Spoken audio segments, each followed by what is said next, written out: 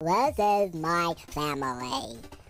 Daddy is always uh, drinking cup of joe. Big sister is not nice. Mommy is from space.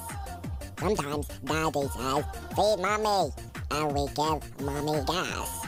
Daddy gets the gas from the car store uh, with his mouth. Uh, I make sure no police guys. Mommy is growing. Daddy say we have to move underground so nobody can see Mommy.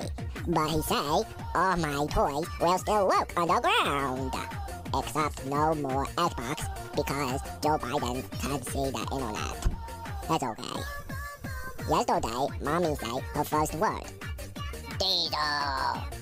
We went to the car store right away. I asked Daddy, what was my first word? He said, it was Mommy. I love my family.